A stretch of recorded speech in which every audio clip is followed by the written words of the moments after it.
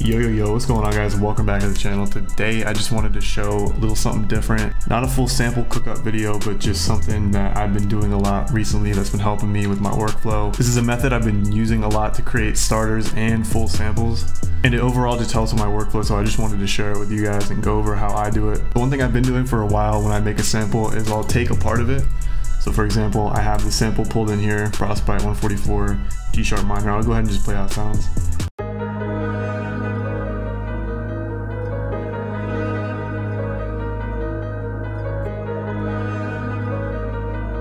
But one thing I've been doing when I make samples is I'll take a certain part of the sample.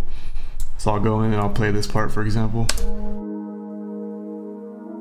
Like just that and I'll cut that out and I'll add like a bass to it, maybe some more effects and I'll manipulate it. And I'll make a starter out of that and then either send out that starter or just make a whole new sample out of that starter. So it basically just helps with workflow so you don't have to start from scratch every single time and you can still do solo loops, basically using your own loops as a starter.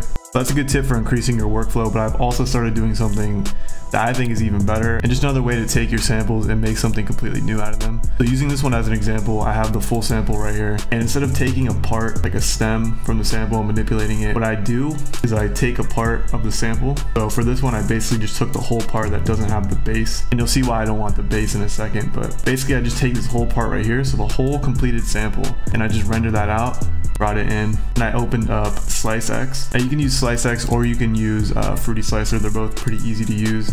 I think Fruity Slicer is a little bit easier to use. I don't know why I use SliceX for this one. But yeah, you basically just open up the sample, right click, go into the audio editor, right click anywhere where it says sample rate or any of that. And then you want to make sure that you click tempo sync under tempo and then hit accept. And then you can just take this button right here, drag the sample directly into either SliceX or Fruity Slicer. And then once you have it in, you can just cut it by going to auto slice and going to either medium grid slicing or large grid slicing. For this one, I use medium because I like the smaller chops. So when you drag it in, it looks like this. And if I were to play it, it just sounds like the original sample.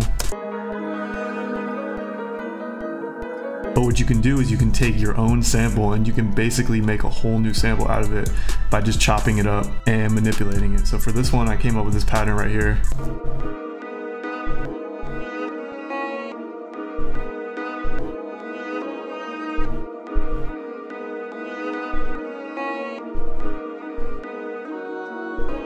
So you can hear how that sounds completely different from the original. So then as you can see right here, I have it rendered out and then I pitched it up about seven semitones. And I've found that usually when I do this and I chop my samples up, I like pitching it up anywhere from like four to seven semitones, something like that. It usually just sounds better and it helps make it sound a lot more different from the original. And then I actually sped it up as well. So I went all the way to 165 BPM. And then as you can see, I have a part where it's half timed and EQ just to take out the low and the high end. And then I also added a piano.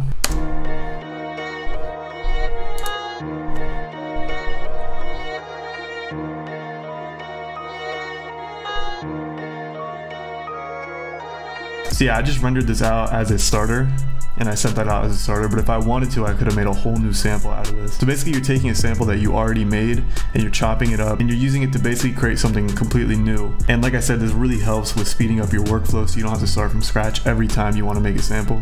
Alright, so here's another example where I actually made a full sample out of it. I brought in this sample right here, it's called Red Key 155 BPM, we'll go ahead and play it.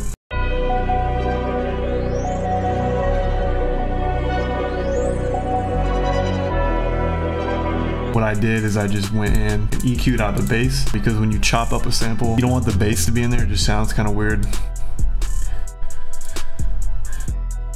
Yeah, as you can see right here, I have it chopped. Yeah, as you can yeah, as you can see right here, I have it without the stems. I just rendered this part out. For this one, I used Fruity Slicer instead of SliceX. And in my opinion, Fruity Slicer is better because you can control the clicking. And the other one, you can hear there's kind of a clicking noise. And this one, you just want to turn the attack up and the decay up a little bit. Yeah, as you can see, I dragged it in and I just went here to the slice tool, went down to beat and clicked beat, chopped it up for every beat. And then I came up with this pattern right here.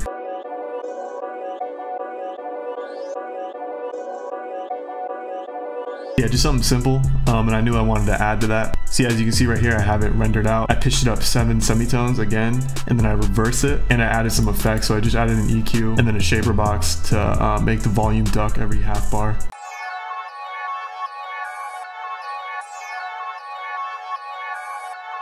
Then I added this arpeggio from Analog Lab.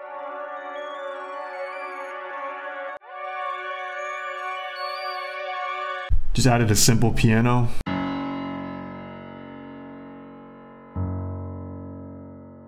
And then a phrase loop from an HZE kit.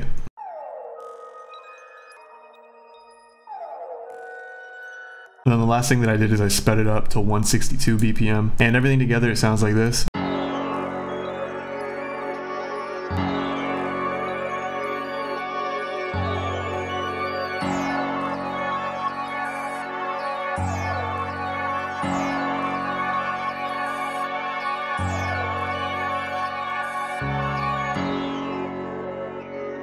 Yeah, as you can hear, a whole different vibe. You can't even tell it's from the original sample. And I got this sample done a lot quicker than I would have if I tried to do this from scratch. So this is one last example where I made another starter using the same technique. As you can see, I have this sample that's pulled in at 146 BPM. I cut out the part without the bass, so this whole part right here.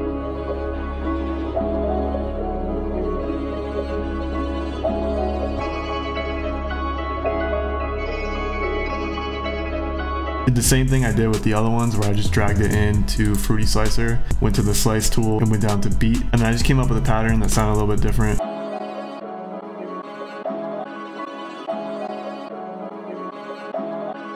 Something pretty simple, I just rendered that out.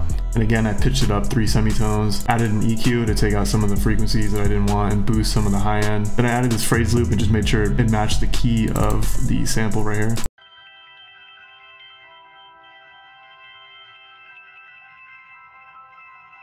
And then I actually sped this one down, so I went down to 142 BPM.